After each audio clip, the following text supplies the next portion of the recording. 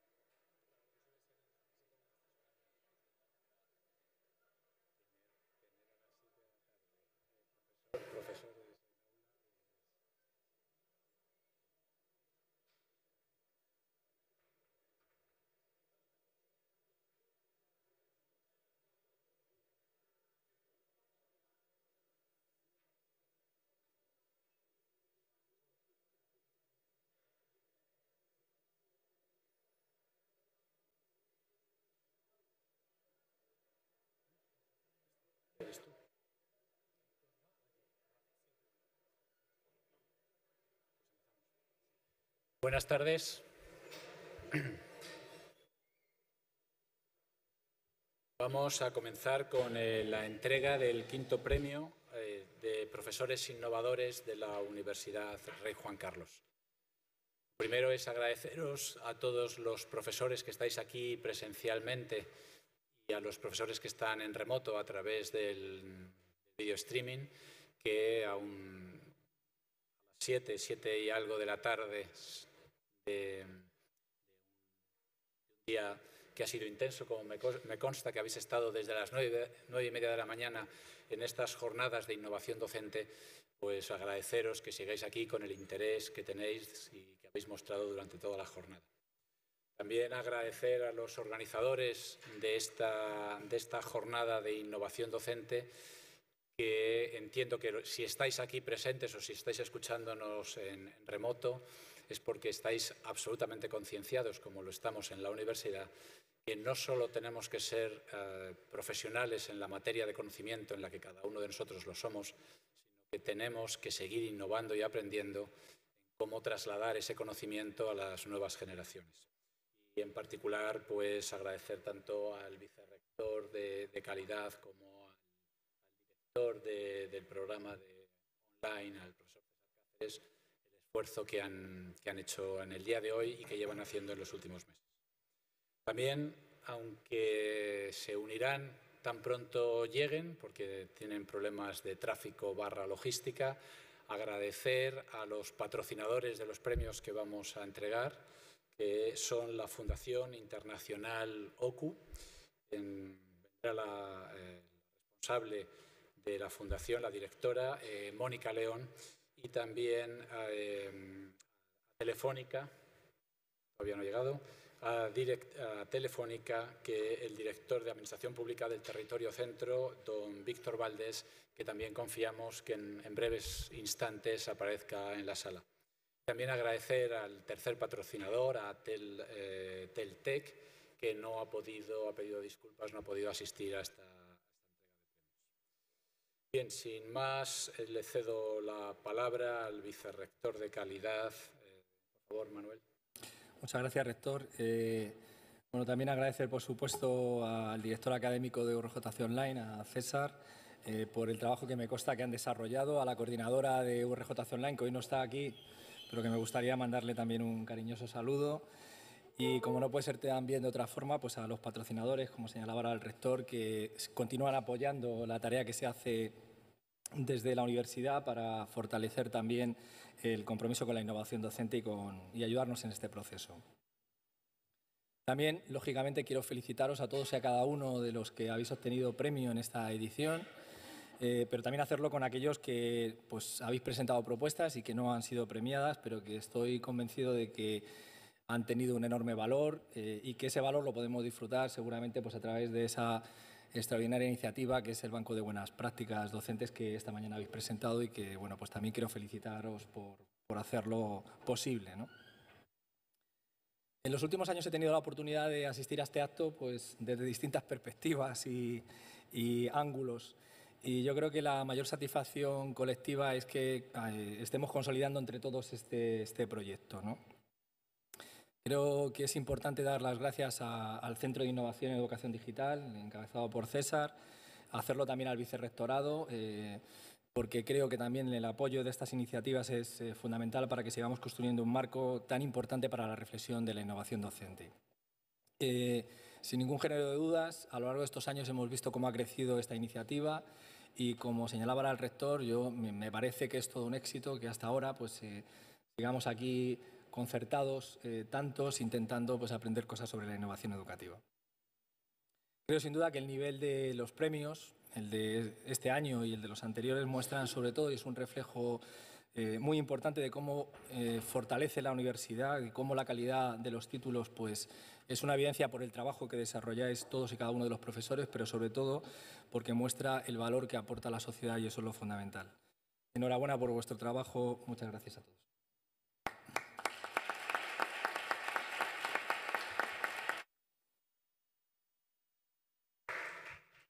Gracias, Manuel. A continuación, teníamos la intervención de, Mónica como patrocinadora. Eh, si aparece en cualquier momento, le cederé la palabra. Y mientras tanto, eh, me gustaría darle de nuevo las gracias, ahora que ya ha podido llegar, y cederle la palabra a don Víctor Valdés, director de Administración Pública del Territorio Centro de Telefónica. Gracias, rector. Muchas gracias a todos. Perdonar el retraso. Veréis, em, desde luego, eh, Telefónica es una compañía que eh, dedica gran parte de su trabajo diario a innovar.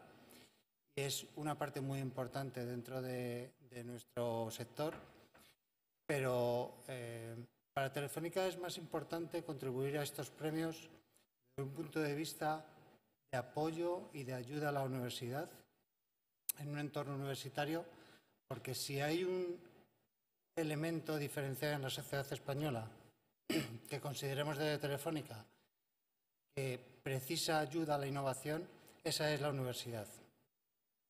Telefónica, desde el punto de vista tecnológico y desde el sector TIC, es un referente a nivel nacional. Es un referente a nivel nacional porque tiene una cantera de eh, personas innovadoras que se forjan en la universidad, en la innovación que ejerce la docencia sobre los alumnos en general, desde el punto de vista eh, innovador, una de las tareas más importantes consideramos que las hace la universidad. Yo no quiero quitar mucho más tiempo. Gracias, rector, por sus palabras y gracias por esta invitación. Gracias.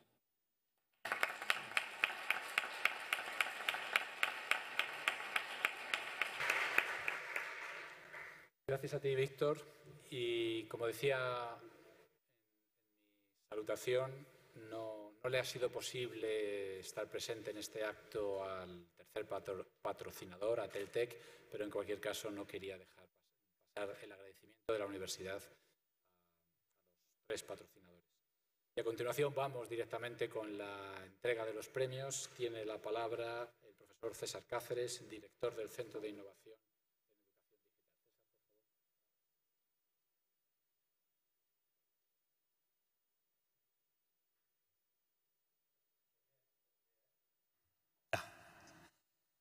Pues bien, sin más, eh, voy a proceder, como vamos un poquito tarde, a, la relación de, premiados. Vamos a comenzar por el tercer premio. El tercer premio eh, de profesores innovadores por JC Online ha sido para la propuesta Aprendizaje Cooperativo en Educación Semipresencial para el Desarrollo de Competencias, propuesto por Montserrat Irene Ross Martín.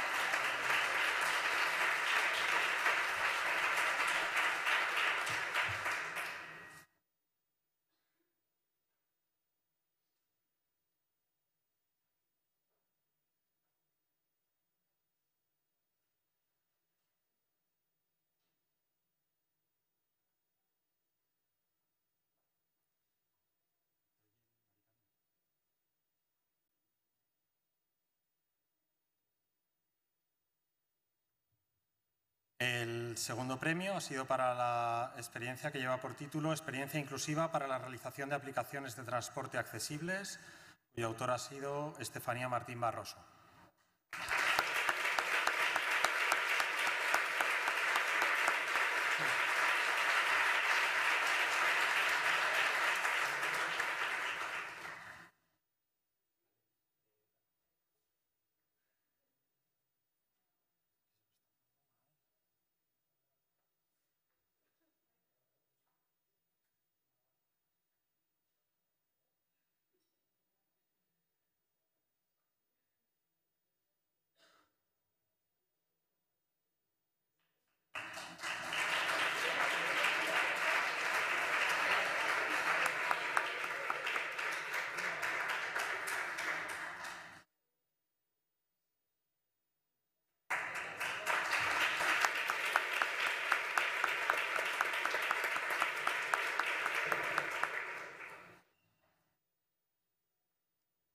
Y por último, más importante de todos, el primer premio ha sido para la experiencia uso de laboratorios portables de redes de ordenadores para el aprendizaje de protocolos de comunicaciones SDN, Software Defined Networking, mediante metodología PBL. Los que han propuesto esta, experiencia han sido Eva María Castro Barbero y Pedro de las Heras Quirós.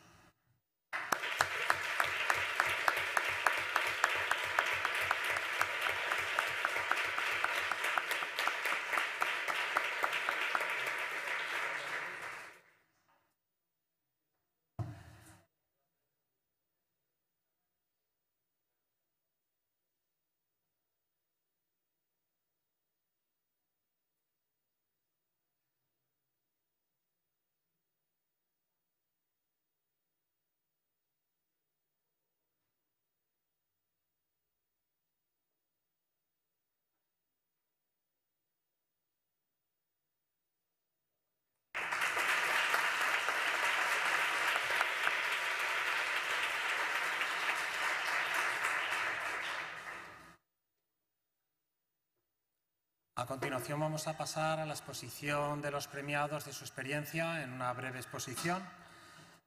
Eh, comenzamos por el mismo orden que hemos, hecho la entrega, por el tercer premio. Así que, por favor, eh, Irene.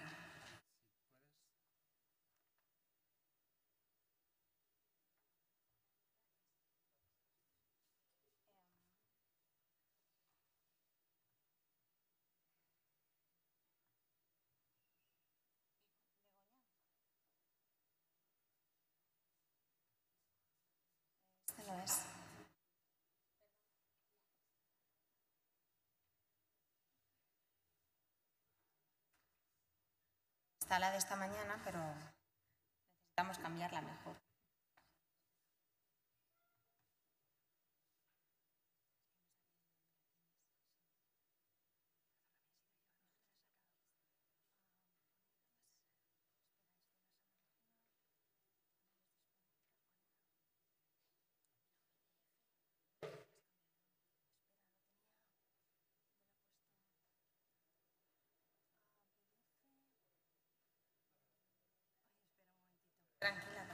sebentar.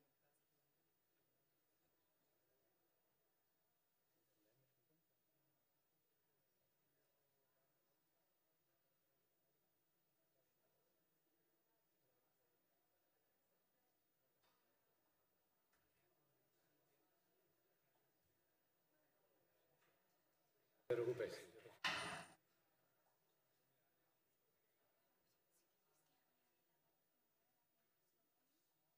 Sí, sí.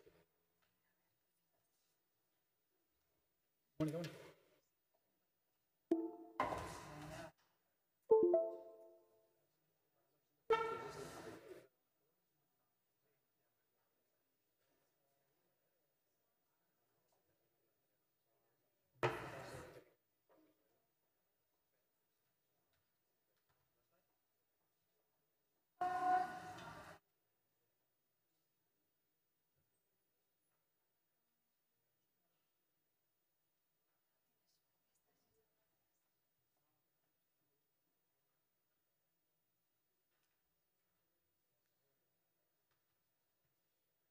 Antes de empezar, eh, agradecer a, a, Mónica, Mónica León, directora de la Fundación Internacional de OCU, el premio que ya hemos entregado, patrocinado por, por la Fundación, y agradecer a OCU y a su Fundación el apoyo en estas iniciativas de innovación.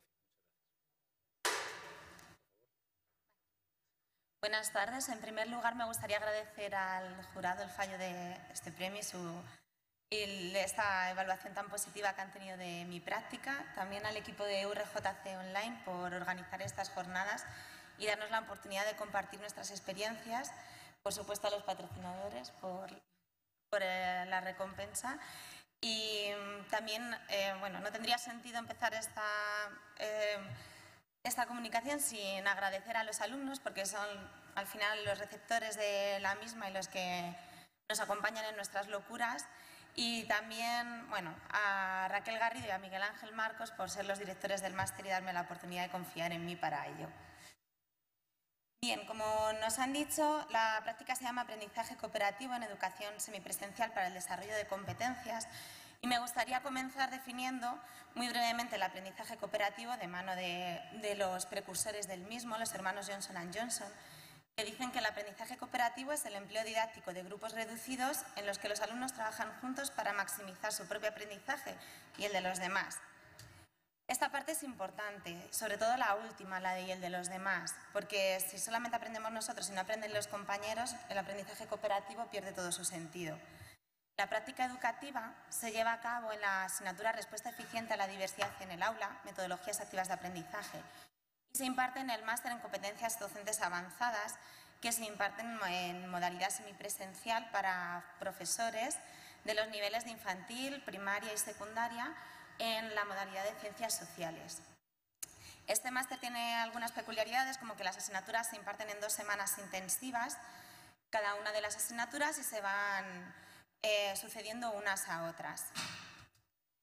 Bien, como el propio nombre del máster indica, es en competencias docentes avanzadas y algunas de las competencias, tanto generales como específicas, que están programadas para esta y otras asignaturas, tienen relación con la adquisición de habilidades sociales y del desarrollo de multiculturalidad entre los alumnos. Entonces, independientemente de que sea una modalidad semipresencial donde los alumnos no están físicamente juntos, es imprescindible que desarrollen estas competencias. De ahí que surgiera la inquietud por aplicar aprendizaje cooperativo en esta, en esta asignatura. Bien, ya hemos visto lo que era y el, mm, dentro de de todas las dificultades que veremos al final que lleva el aprendizaje cooperativo, al final, como siempre, tiene una recompensa y un objetivo principal, que es promover el desarrollo de competencias relacionadas con la adquisición de habilidades sociales en la educación semipresencial. Los cuatro objetivos secundarios que, que, se pretendían, que más bien son fases de actuación para poder conseguir el objetivo principal, serían Establecer una estrategia didáctica de aprendizaje cooperativo donde los alumnos puedan desarrollarlo a través de la elaboración de proyectos, prácticas y tareas diversas. El empleo de los foros como herramienta para que los alumnos se conozcan unos a otros. El empleo de los foros para conseguir que los, eh, que los alumnos opinen, debatan y sean críticos eh, y de paso también les ayude a conocerse para después poder establecer los equipos. Y por último, darles a conocer, o más bien recordarles las vías de comunicación por las que pueden eh, comunicarse para hacer el, trabajo cooperativo. Bien, esta sería la secuencia que, está empleada para la, para la, estrategia didáctica de aprendizaje cooperativo, que está basada en un modelo genérico, en el modelo 3P de BIG y en el modelo DIDEPRO, y que es, para el cual se establecen siete pasos, empatía, objetivos, planeamiento, planteamiento, perdón, planificación, docencia, evaluación y mejora continua. Están más desarrollados en el trabajo, pero ahora quiero incidir en otros aspectos relacionados con las habilidades sociales.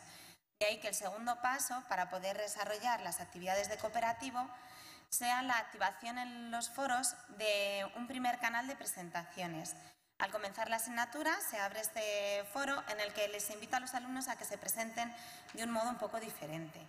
Eh, lo que me gusta que digan es el nombre por el que nos gusta que nos llamen, que no siempre es el nombre de pila, la ciudad en la que vivimos y por qué nos gusta, la etapa educativa, en la que somos profes, una afición que no esté relacionada con el trabajo, a ser posible, o con la docencia. Y si tuviéramos un superpoder, perdón, superpoder ¿cuál sería? Eh, esto nos ayuda un poco a romper el hielo, a que los alumnos se conozcan y puedan establecer relaciones para crear sus propios equipos. Y bueno, siempre empiezo yo eh, presentándome para que no les dé tanta vergüenza. En modo de chascarrillo este año el superpoder más elegido ha sido la teletransportación. No sé si por esto de modalidad semipresencial o por qué, pero mayoritariamente han decidido ese.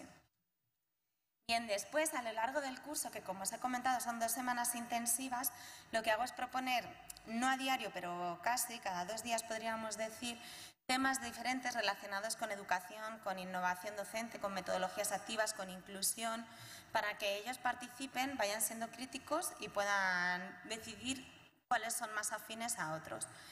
Como veis, bueno, estoy muy contenta, esto es de este curso, no del pasado, y como veis la afluencia de respuestas es bastante abundante, con lo cual estoy muy contenta. Eso sí, eh, para poder leer todos los comentarios, tanto yo como los compañeros, les pido que sean comentarios a abuela pluma, es decir, que intenten no pasarse de 240 caracteres, lo mismo que sería un tuit similar, y así es una lectura ágil donde además potenciamos la capacidad de síntesis de las ideas de los alumnos. Y funciona bastante bien, porque si nos tenemos que leer párrafos enormes, al final nadie lo hace y se pierde un poco ese hilo de contacto. Y por último les recuerdo lo que ya sabemos todos, que son diferentes vías de comunicación, porque como siempre dicen, ay, ¿cómo lo vamos a hacer si no estamos juntos? Bueno, pues tenemos redes sociales, correos, eh, teléfonos y todos estos medios, por supuesto habla virtual, todos estos medios que ya todos sabemos. Como aspectos negativos o inconvenientes o cosas que siempre, los de siempre, los que siempre digo, esto genera mucho tiempo, estar leyendo foros, estar proponiendo temas, primero tú documentarte de temas de actualidad, plasmarlos, pues requiere tiempo, requiere trabajo y al principio los alumnos siempre se quejan porque cómo vamos a trabajar en cooperativos, si estamos en online, bueno, ya sabéis que os voy a contar que no sepáis. Luego, al final, la verdad es que en sus reflexiones terminan agradeciendo el hacer aprendizaje cooperativo y suelen afirmar que, que así conocen más a los compañeros y que les ayuda a, conocer otras personas de otros sitios, otros niveles y entonces al final esas quejas se convierten en retroalimentación positiva. Y como aspectos positivos, pues que os voy a contar que aprendemos todos, ellos y yo, que están motivados para el aprendizaje y se enganchan a la asignatura, que se implican también y de vez en cuando proponen temas y por supuesto que cooperan, que es la competencia que queremos que, logren y que merece la pena. Muchas gracias.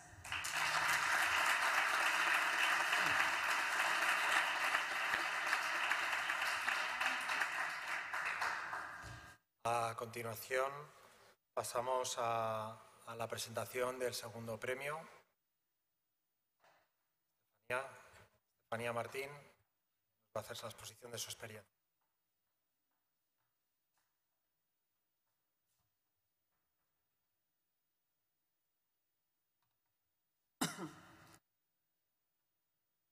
Bueno, yo, como mi compañera anterior, quiero agradecer eh, lo primero a los alumnos del grado de Ingeniería Informática, que han sido partícipes de esta experiencia inclusiva, a Aula Virtual, bueno, JC Online, ¿no? por organizar estas jornadas y darnos la oportunidad de difundir lo que hacemos en la casa, difundir estos trabajos que a mí me parecen interesantes y para mí, por lo menos, eh, me ha hecho mucha ilusión tener este, este premio. Entonces, eh, sin más, bueno, comentaros que es una experiencia conjunta entre la Universidad Rey Juan Carlos y la Fundación Juan 23 eh, Roncali. Es una fundación de discapacidad que está situada en el campus de Vicálvaro, está al lado del campus, al lado de cercanías, y entonces era bastante propicia para hacer una experiencia conjunta. ¿Por qué surgió? No? ¿Por qué como docente me marqué en esto? Bueno, yo doy una asignatura de tercer curso en el cual mis alumnos eh, se les forman a hacer aplicaciones que sean usables y accesibles para la mayoría de la población. Eh, hasta ahora ¿no? Eh, parece que el tema de accesibilidad ya va cogiendo un poquito más de fuerza, pero antiguamente no se tenía tanta preocupación por el tema de accesibilidad. La accesibilidad, aunque no está del todo eh, conseguida, en la parte sensorial, si tienes discapacidad visual, si tienes discapacidad eh, auditiva, pues siempre, siempre cambiando un poco el canal de comunicación, pues ya está solucionado. ¿Qué es lo que ocurre con discapacidad cognitiva o intelectual? Bueno, pues que no existen ni pautas ni guías para desarrollar productos tecnológicos accesibles y que además eh, hay una diversidad de usuarios ahí metidos eh, que es bastante grande. ¿no? Eh, se meten temas de dislexia con temas de Alzheimer que no tienen nada que ver en cuanto a soluciones de productos tecnológicos. Entonces, bueno, ahora sí que va cogiendo un poquito más de cancha este, este ámbito debido al incremento de la esperanza de vida ¿no? y a que todos vamos a llegar a mayores y vamos a tener nuestros achaques particulares. El marco de colaboración de esta experiencia inclusiva, bueno, han participado 41 alumnos de la Universidad Rey Juan Carlos, del grado de Ingeniería Informática, la asignatura se llama Interacción Persona-Ordenador.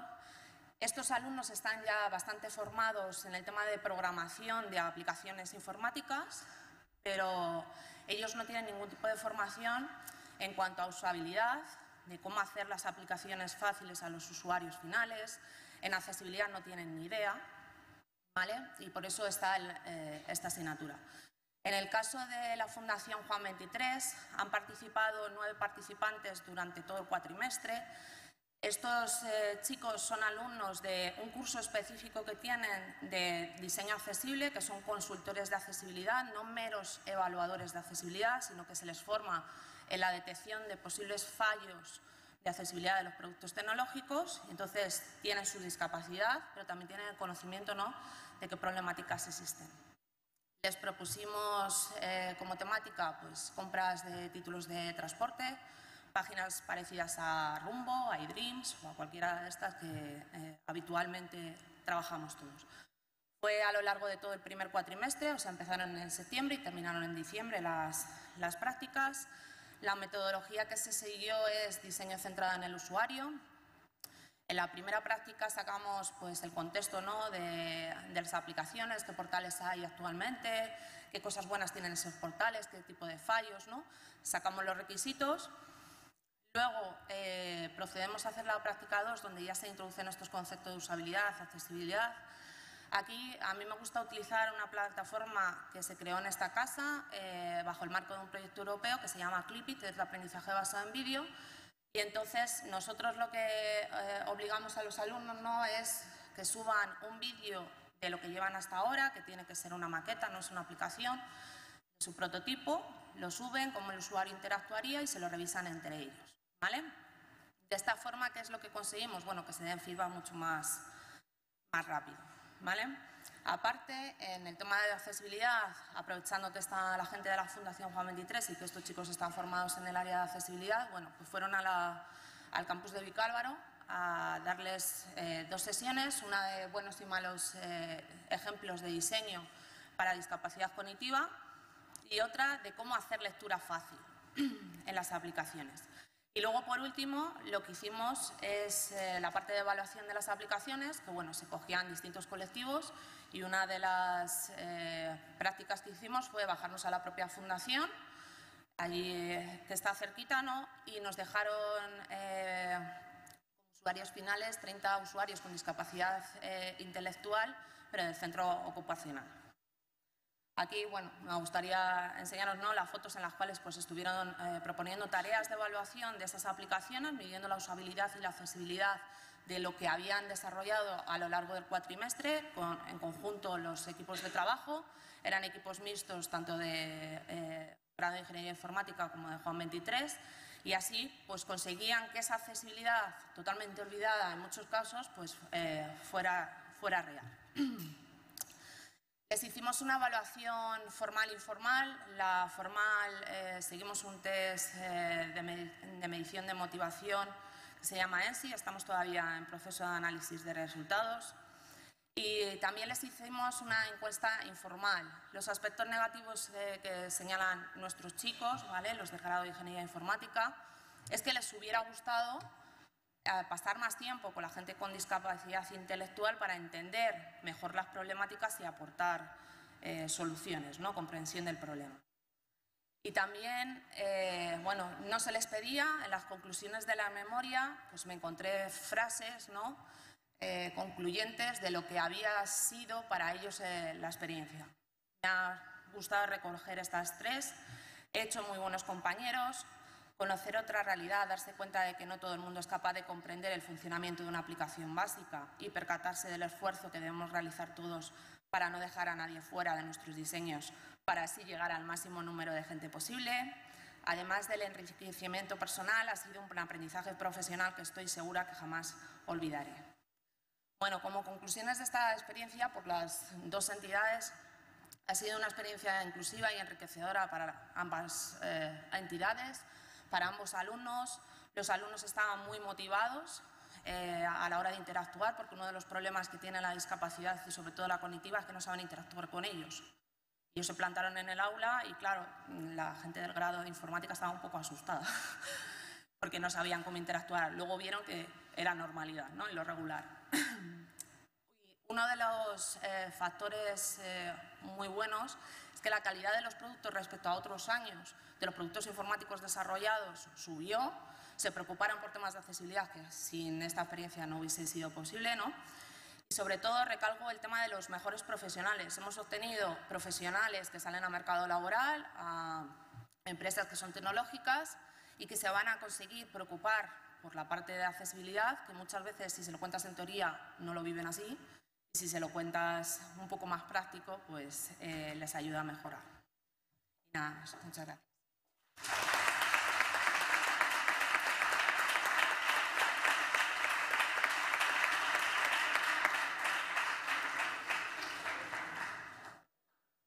Y por último, la presentación del primer premio, que corre a cargo de Eva o Pedro, o los dos. Pedro, muy bien. Pues Pedro, cuando quieras. Mientras Pedro se coloca, como es el último momento que tengo el micro hoy, lo aprovecho.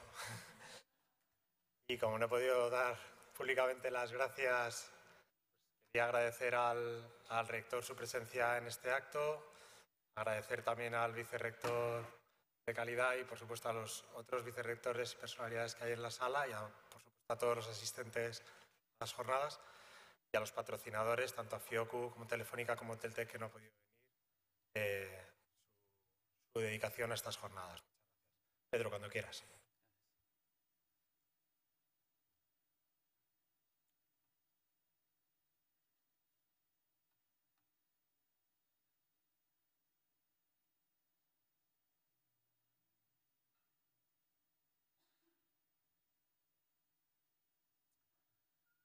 Buenas tardes, eh, soy Pedro de las Heras Quirós. Junto a Eva Castro hemos realizado este trabajo. En primer lugar, querríamos agradecer a los alumnos que nos soportan, eh, que soportan nuestros experimentos docentes, al rectorado, a nuestra escuela, que nos aloja en nuestra labor profesional, y a URJC Online y a todos vosotros que estáis aquí a estas horas.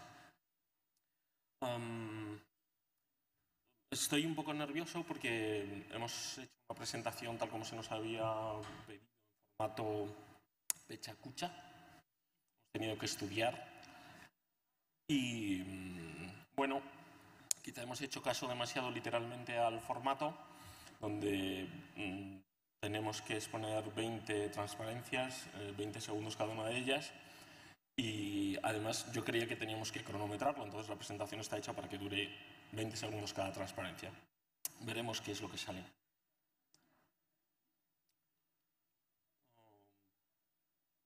Empiezo. Eh, la Escuela Técnica Superior de Ingeniería de Telecomunicación, como muchos sabréis, es la más pequeña de esta universidad, son como mil alumnos y ofertamos titulaciones como Ingeniería de Robótica Software, varios eh, títulos de Ingenierías de Telecomunicación, Ingeniería Biomédica, Ingenierías Aeroespaciales, varios dobles grados y el máster universitario del que ahora hablaremos. La ingeniería telemática en particular, que es lo que nos trae aquí a Eva y a mí, es a lo que nos dedicamos, según la RAE, es teleinformática o tiene su origen en teleinformática. Es la aplicación de las técnicas de la telecomunicación y de la informática la transmisión de información con ordenadores. Alan Turing y Claude Shannon son los padres de la informática y la telemática. La palabra bit la inventó Claude Shannon. Nuestra experiencia se denomina el uso de laboratorios portables de redes de ordenadores eh, para el aprendizaje de protocolos de comunicación SDN, mediante una metodología Project Based Learning adaptada. Eva Castro es doctora en Ingeniería de Telecomunicación y yo doctor en Ingeniería en Informática y nos dedicamos a la telemática. Eh, esta experiencia es una práctica en una asignatura que se denomina Tecnologías y Protocolos de Internet de Nueva Generación en el máster de Ingeniería de Telecomunicación. El temario de esta asignatura son nuevos protocolos para Internet y en particular Software Defined Networking es la práctica eh, en la que hemos tratado de innovar. La metodología en esta asignatura es eminentemente práctica el 50% de las clases aproximadamente son de teoría, el 50% de prácticas, pero la mayor parte del tiempo los alumnos están en el laboratorio. Las asignaturas, perdón, las clases de teoría son también en el laboratorio, mezcladas con las prácticas. 20 segundos. Los objetivos de aprendizaje de esta práctica en particular, de este tema, eh, son el estudio de un protocolo de comunicaciones que se denomina OpenFlow, y que se utiliza en los últimos años en redes y se va a utilizar en todas partes, en Telefónica, en Google, en Facebook. Su origen, de hecho, es en estos entornos. el entorno de aprendizaje habitualmente para este tipo de prácticas es o bien con redes simuladas o emuladas, entornos de virtualización de redes, no tengo tiempo para explicar demasiado, o laboratorios con hardware específico para crear este tipo de redes de ordenadores. A la izquierda vemos un entorno de simulación que puede que algunos hayáis sufrido hace años, porque es una herramienta que venimos utilizando en, nuestra escuela y antes aquí en Móstoles. Eh, y el entorno de la derecha son laboratorios físicos con hardware. Son muy caros y no permiten que muchos alumnos hagan prácticas eh, simultáneamente. Entonces los laboratorios hay que escalarlos en el tiempo y traer a unos alumnos un día, a otros otro. Esta es nuestra propuesta, laboratorios portables de redes de ordenadores y para este entorno concreto de SDN, donde entregamos a los alumnos eh, dos ordenadores Raspberry Pi de 30 euros cada uno y un switch OpenFlow de 80-90 euros. Con estas prácticas, que se pueden llevar a casa en una caja de zapatos, pueden hacer prácticas las 24 horas, si es que les gusta la asignatura. Algunos casi se acercan. La metodología que hemos empleado eh, utiliza en su gran mayoría trabajo en el laboratorio, pero también trabajo individual, mucha colaboración en el aula virtual, en el foro en particular de la, de la asignatura, y luego tutorías individuales. Las prácticas son individuales. La metodología que hemos utilizado es una adaptación de PBL 4x4, que Alfredo Prieto en la Universidad de Alcalá de Henares eh, diseñó, pero adaptada a mm, grupos de uno. Son prácticas individuales, a pesar de que colaboran en el laboratorio pues, todos los días que hay prácticas. En la memoria que ahora mm, os pasaré el enlace están todos los detalles y los materiales. La evaluación que hacemos de las prácticas es mediante una rúbrica y básicamente les pedimos una memoria en la que tienen que describir la resolución del problema que les hemos planteado y unos vídeos donde tienen que contarnos su solución. Las prácticas son individuales y para que no haya problemas de copias eh, ponemos procedimientos para que sean básicamente imposible de copiar cambiamos direcciones, puertos y demás, y son prácticas individuales y diferentes. Estos son los resultados de las encuestas. Dejo que los leáis. Una selección.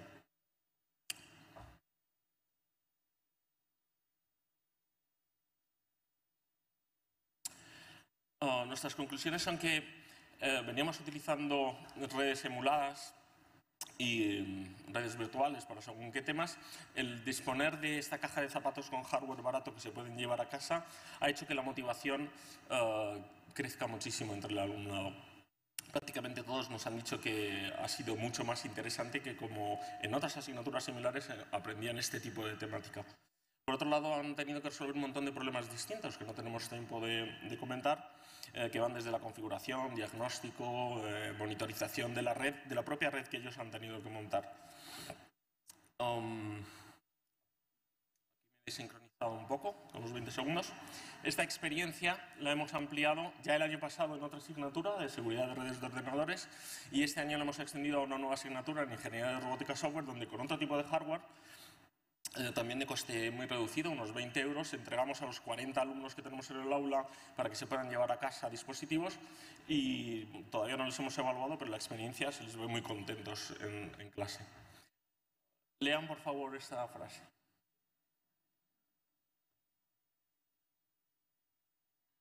Rector de Harvard en, a principios del siglo pasado, aunque hay discusión sobre si realmente la cita es de él. Nosotros proponemos modestamente que la forma de conseguir que los alumnos cuando salen de la universidad se lleven más conocimiento y no nos lo quedemos aquí todo, es que se hagan más prácticas, más laboratorios, más clases con el profesor en el laboratorio, más valoración de las prácticas por parte de la universidad, de los propios profesores, los alumnos ya las valoran, y que se valore más la docencia en general. Este es uno de los momentos en los que se valora la docencia. Propongo que esta universidad y el resto del sistema universitario español la valoren más, porque creo que no está demasiado valorada. En esta URL que podéis capturar si le hacéis una foto, tenemos todos los materiales de, esta experiencia. Incluye una memoria que presentamos para presentarnos al, a este concurso, a este premio. Um, incluye todos los materiales que les entregamos, siguiendo la, la metodología PBL en la que únicamente les damos una clase inicial mm, magistral eh, de dos horas. El resto del tiempo, y están varias semanas realizando esta, esta unidad didáctica, eh, consiste en que los alumnos tengan que prepararse por su cuenta con enlaces a vídeos y a otro tipo de materiales que les proporcionamos, el enunciado del problema que tienen que resolver y finalmente um, Uh, herramientas de apoyo que les proporcionamos que tienen que utilizar para resolver el problema. Uh, esto es todo. Muchas gracias. Y...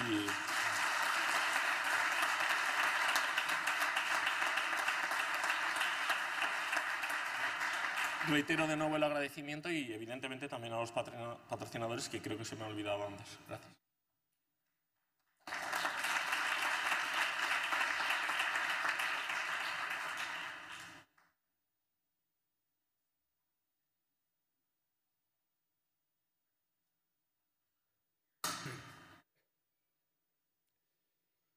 Irene, Estefanía, Eva y Pedro, enhorabuena. Enhorabuena porque, solo en los siete minutos, más o menos 20 segundos que habéis empleado, habéis demostrado un trabajo bien hecho, un trabajo del que esta universidad está orgulloso, orgullosa y yo personalmente estoy, orgulloso.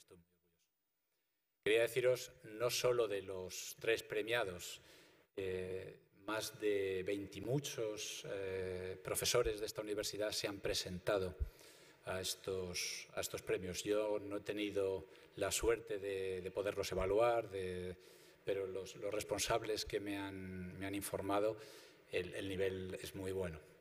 Entonces, también enhorabuena a, todas esas personas que se han tomado el interés en, presentar sus trabajos de innovación docente a este premio que no, no hayáis sido premiados, el esfuerzo merece la pena. Y incluso si me permitís un poquito más ir allí, ir un poco más allá, enhorabuena a todos los profesores que hacen innovación, que intentan mejorar día a día en su docencia. No me voy a extender porque el día ha sido muy largo y luego tenemos eh, otra, otro reconocimiento después de esta entrega de premios. Pero sí que trasladaros que tanto a los premiados como a los que habéis presentado trabajos, como a todos aquellos profesores que todos los días, día a día, se esfuerzan en innovar, en adaptar, en mejorar su docencia de grado, de posgrado, eh, gracias, gracias y nos sentimos muy orgullosos de vosotros. ¿Y por qué? Porque es estrictamente necesario. Sin ese trabajo de innovación no tenemos futuro de verdad, eh, nos lo tenemos que creer. Los que os veo algo más jóvenes podéis creerlo o no, pero los que ya llevamos 30 años en esto de la formación universitaria, distintos roles nos ha tocado en distintos momentos, puedo deciros que mm, aquellos que tengáis un poquito más de, años, mirar atrás solo 30 años. Solo 30 años en la historia de la humanidad no es nada. no, no hay ni casi ninguna semejanza, salvo que los estudiantes acaban sabiendo más, acaban siendo mejores personas. No hay, no hay casi nada parecido entre lo que nos, la forma en la que nos formaban hace 30 años y la forma en la que formamos a las nuevas generaciones hoy.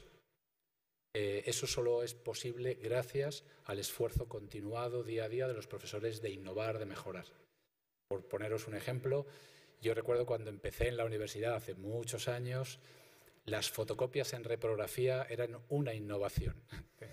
eran innovación. Que el profesor dejaba eh, papeles, porque hasta ese momento solo había unos cajetines con fichas, y uno iba a la biblioteca, buscaba el libro en la ficha, encontraba en qué, en qué stand de la biblioteca estaba el libro y leía. Eso, la innovación era fotocopias. Por supuesto, se fumaba en clase y, por supuesto, no había proyectores, ni siquiera había acetatos. Cada vez que uno se aproxima a cualquier experto en cualquier ámbito de conocimiento, a un abogado, a un médico, un ingeniero, un economista, un fisioterapeuta, todos dicen, ¿cómo ha cambiado mi ámbito de conocimiento? cuando yo era joven, pues la medicina no había ni estetoscopios, o la ingeniería no había ni antenas, o en derecho no había ni el principio de retroactividad de las leyes. Eh, en educación es mucho más rápido porque eh, la materia prima con la que trabajamos cambia día a día. los estudiantes de este año ya no son los estudiantes del año pasado. Por eso, gracias a todos los que os esforzáis en innovar y en adaptarnos a las nuevas necesidades de la sociedad. Si os parece con esto, damos, si no me salto el protocolo, damos por concluido este acto de entrega de premios. Muchas gracias.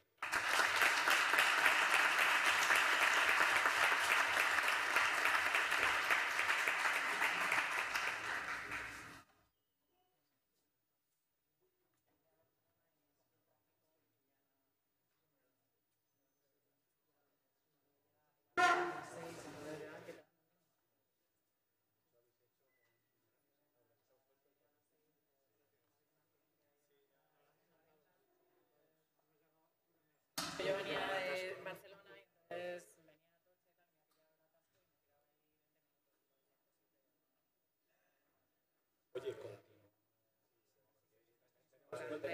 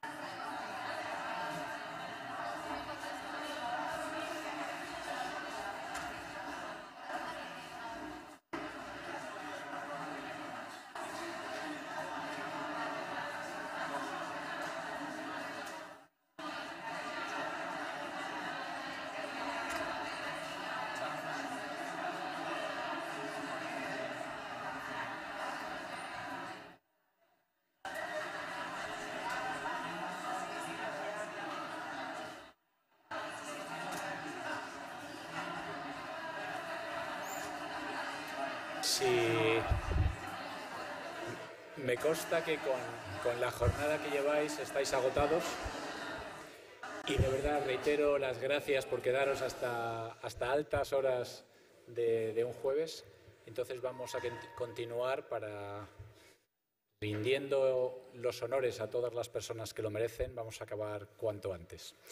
Procedemos con el siguiente acto y entiendo, si los organizadores de la jornada no me engañan, es el último acto del día de hoy ya, el acto de reconocimiento, de sincero reconocimiento a los profesores excelentes en el programa Docentia.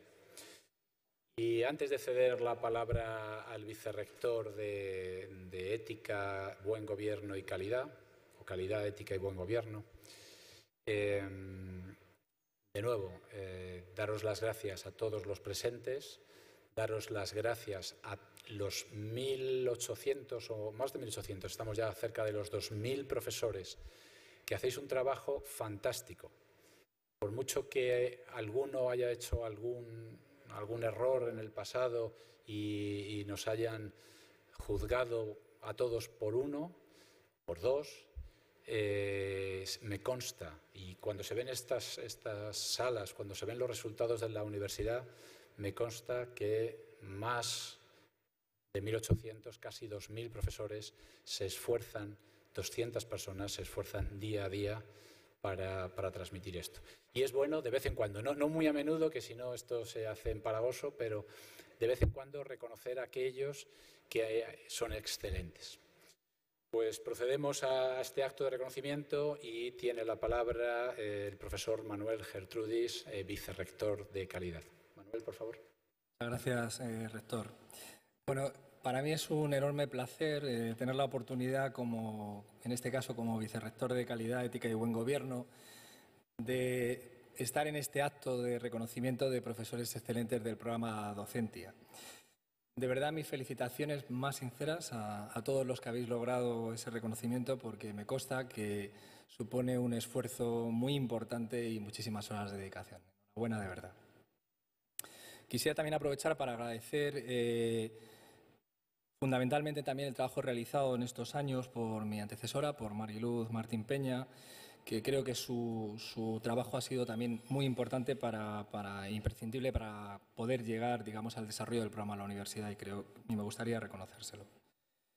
Sin duda, el éxito de esta convocatoria de 2017, en la que habéis alcanzado esta calificación de excelente, pues habla, yo creo, de la fortaleza de la institución, de el valor de lo grupal, de la importancia que tiene fijarse objetivos y perseguirlos y de que lo individual es siempre, siempre un éxito colectivo.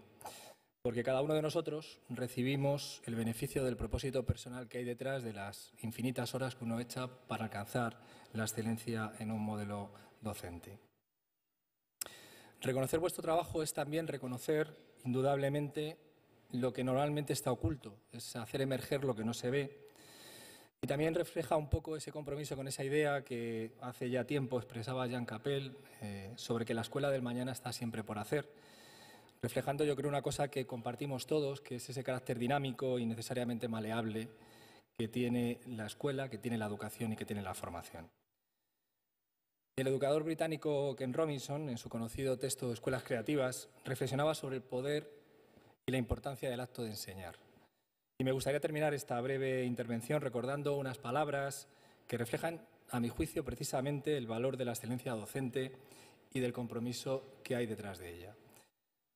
Dice así, los jardineros saben que ellos no son los que hacen crecer, las plantas, ni montan las raíces, ni pegan las hojas, ni tampoco pintan los pétalos.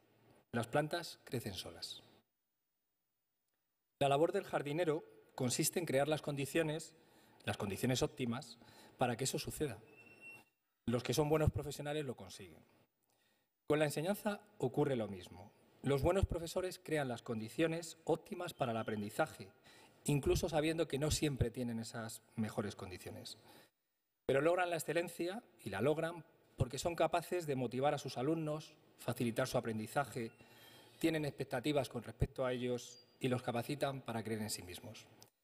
No me cabe la menor duda de que ese es vuestro caso.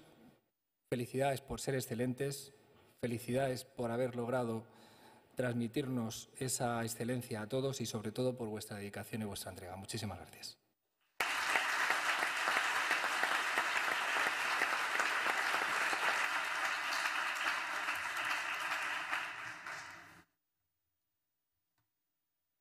Gracias, Manuel. Estimado vicerrector, estimados profesores y estimados asistentes, quisiera empezar este acto de reconocimiento dando las gracias. Sinceras gracias a los más de 2.000 docentes de la Universidad Rey Juan Carlos que con su esfuerzo y su dedicación diaria hacen, hacen posible que nuestra institución ofrezca la más alta calidad formativa. Gracias a quienes, además, han considerado importante a lo largo de los últimos diez años que el desarrollo de esta extraordinaria tarea sea evaluado de forma voluntaria a través de nuestro programa institucional Docentia. Como no puede ser de otra manera, quiero dirigir de forma muy especial mi agradecimiento a todos aquellos docentes que en la convocatoria de 2017 habéis obtenido la máxima calificación y reconocimiento por vuestra actividad como profesores. Sois excelentes, sin duda, y transmitís esa excelencia a toda vuestra actividad académica.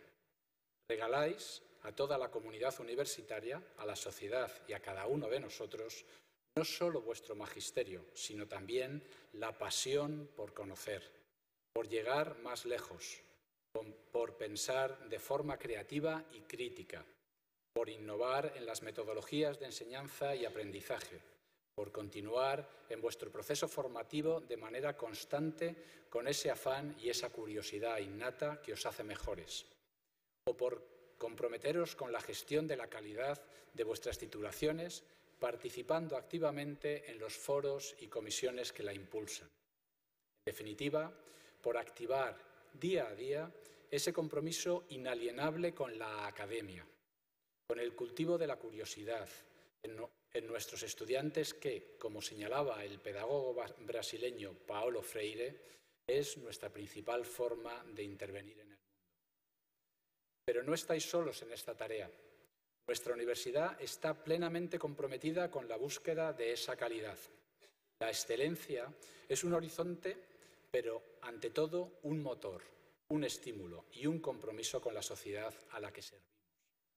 Un eje prioritario de acción del gobierno de esta universidad.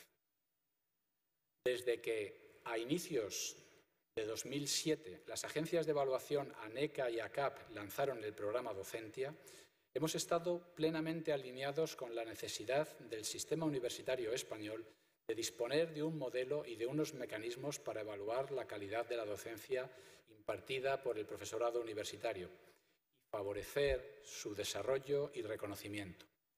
Fuimos, entonces, de las primeras universidades en adherirnos al programa y, en particular, activamente en todas sus acciones, conscientes de la necesidad de compartir y asumir los estándares europeos desarrollados por la European Association for Quality Assurance in Higher Education, ENQA, en su documento Criterios y Directrices para la Garantía de la Calidad en el Espacio Europeo de Educación Superior.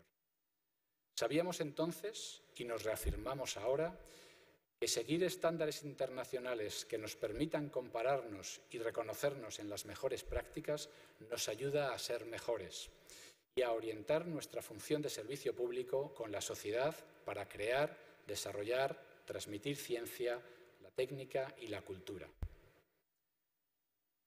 Once años después, el programa está plenamente instaurado en la universidad y ha contribuido de forma esencial a conformar una cultura de calidad y de la evaluación de la actividad docente orientada a su mejora.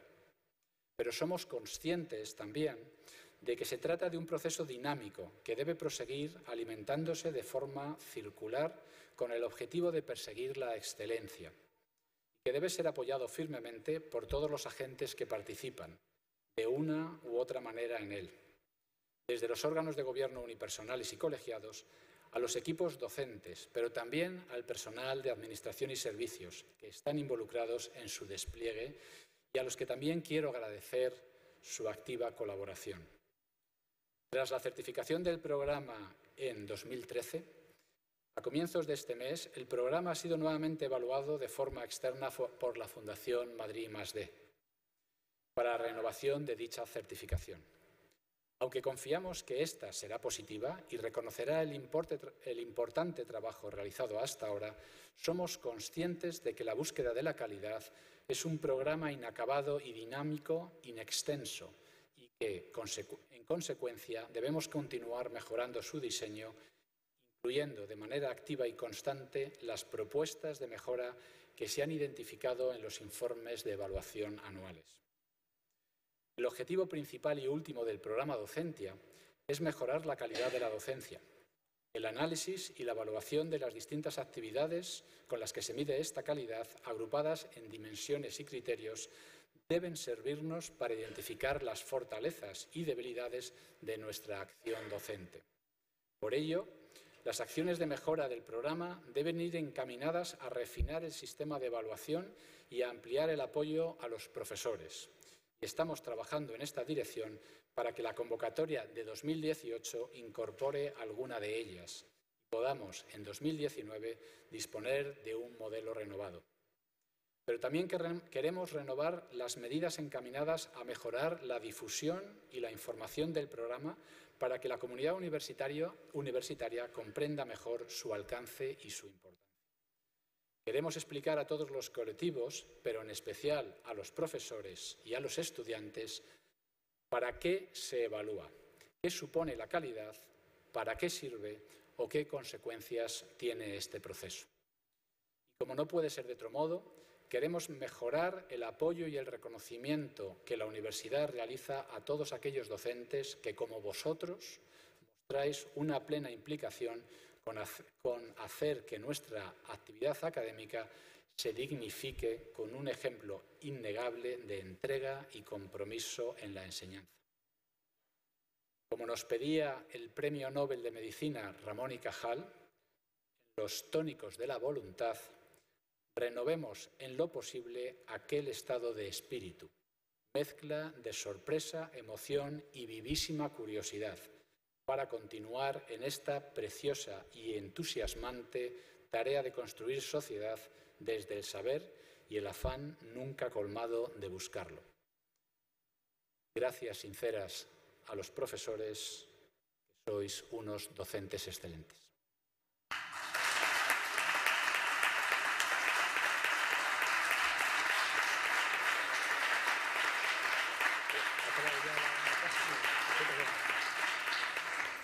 Y ahora os iba a pedir un favor, eh, hacernos una foto de familia y que os acerquéis todos los, docentes excelentes que habéis aparecido en el vídeo y que no he, podido mirar durante la lectura del discurso. Y nos hagamos una foto. Si, podéis, os agradeceríamos que cojáis el, el diploma y nos lo hagamos para que salga con,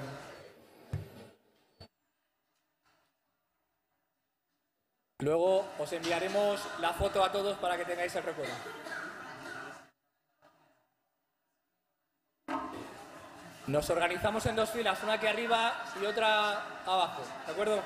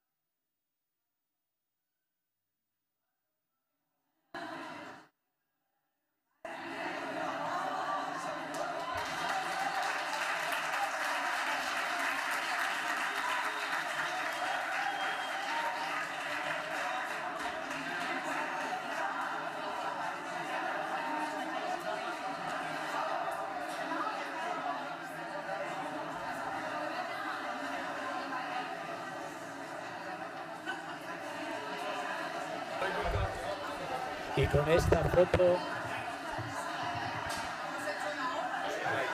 Sí, quedan clausuradas las quintas jornadas de innovación docente de la URJC Online. Muchas gracias.